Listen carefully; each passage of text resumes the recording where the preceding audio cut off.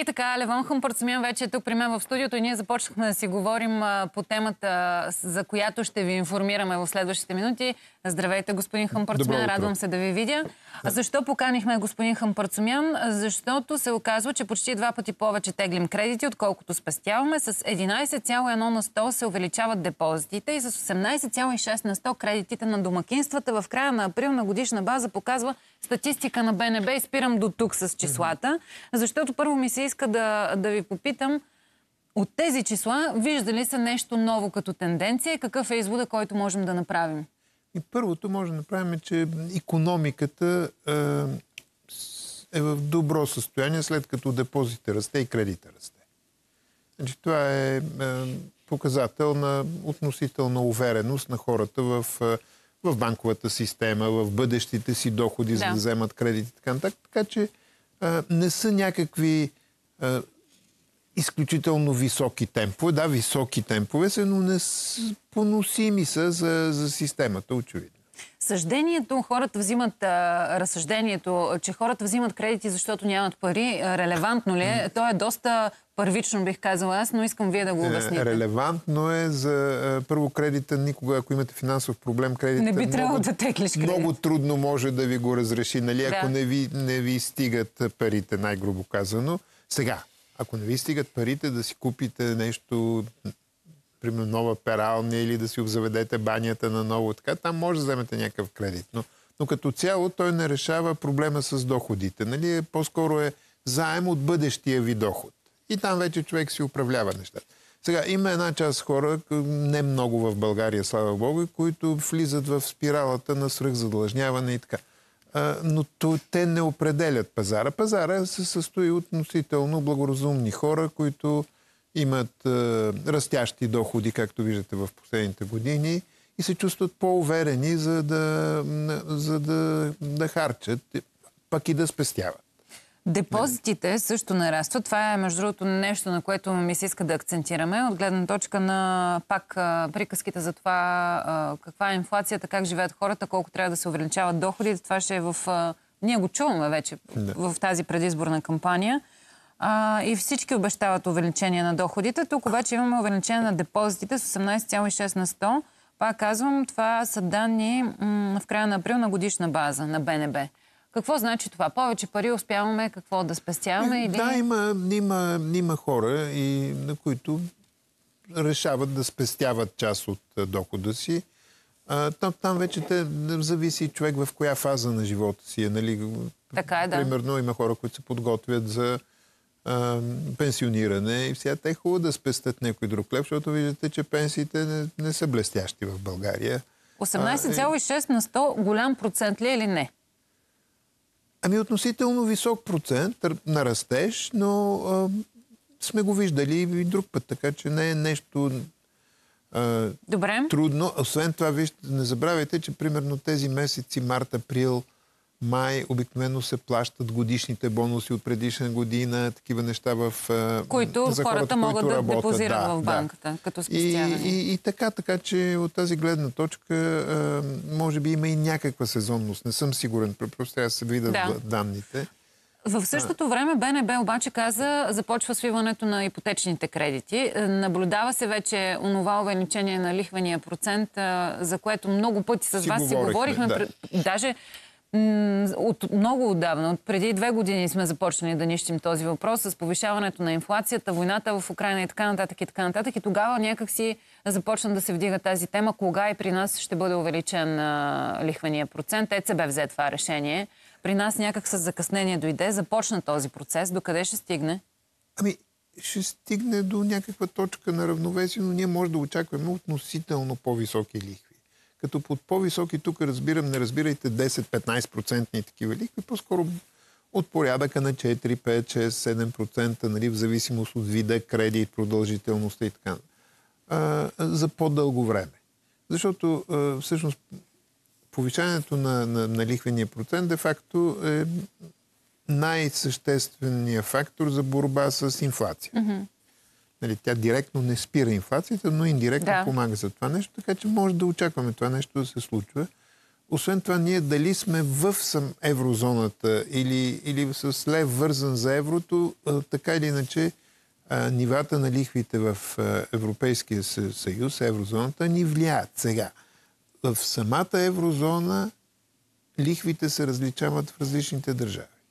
Нали, няма абсолютно уни, универсални лихви, тези, които потребителите виждат. Нали, а, ипотеките не са по, една, по един и същи начин направени. Културно има разлики. Примерно в а, северните държави хората са по-склонни да наемат а, през а, годините, когато са млади, взима нещо мъничко, после нещо по-голямо, после да. нещо, пак нещо малко и така се върт едници. Докато в южните държави в Европа, там като почнете от Португалия и Испания и стигнете до нас, хората са по-склонни да притежават. Което означава нали, ипотеки с всичките тези неща. Съответно там и ипотеките малко по-скъпички, но това е, това е ситуацията. В различните пазари има малки разлики. Какъв е метода на една финансова институция, визирам банките, да, да оптимизират даването на ипотечни кредити? От една страна повишаване на лихвения процент или от друга страна а, одобрението на конкретните лица, които кандидатстват за кредити или от двете някаква смесица? По-скоро, по-скоро е многофакторна оценка на кредитоспособността на, на, на клиента. Тоест първо е личността на кредитополучателя. Ами, да, и а, търговската политика на банката, определени нали, може да кажат, ние примерно няма да даваме ипотеки в определен район на еди кой си град. Защо? Ами, защото цените там са нестабилни или има свръхзастрояване или не... А и това се взима предвид? Разбира се. Значи, когато става дума за млад, здрав, с хубава професия, добра перспектива, хубав район, жилище близко до метрото или еди какво си там, нали всичко това да. нещо, всичко това са фактори, които водат до първо повишават цената на самото жилище, но водят и до увереност в финансиращата институция, че а, парите няма да се загубят. Нали? Защото банките не искат да притежават един куп апартаменти или жилища от закъсали клиенти, а искат да имат плащащи клиенти, които днес ще си купи жилище, утре ще е лизинг за колата, на третия ден ще финансира някакви почивки, образование на деца и така нататък. Това, това е което банките търсят. Дългосрочни отношения, които да, са, да, да, са, да носят печалби и доходи на банките и удовлетворение на клиент. Добре, и понеже споменахме еврозоната, имате ли вие към днешна дата по-ясна прогноза за това кога България ще приеме еврото като национална валута? На фона на това, че да, инфлацията се успокоява като показатели, обаче критерия не сме го постигнали.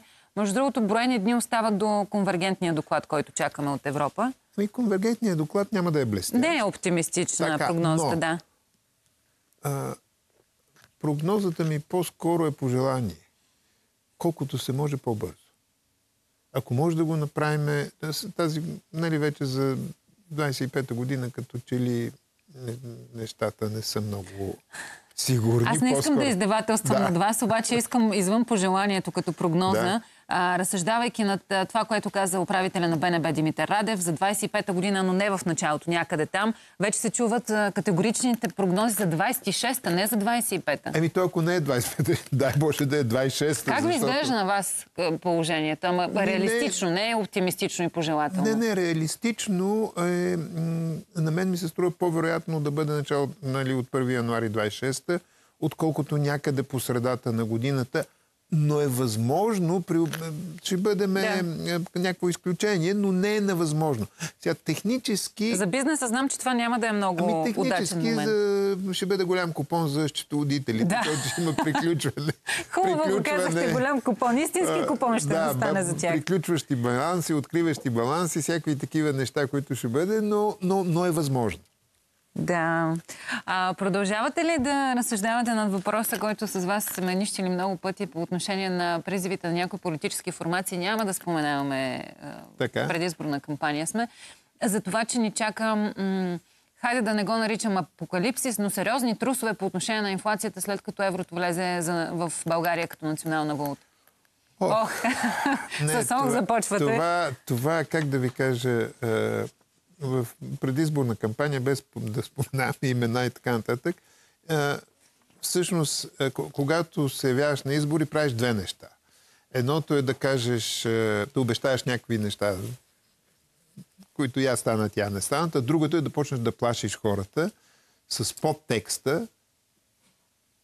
Вие се оплашете, но ние имаме решение да е страх.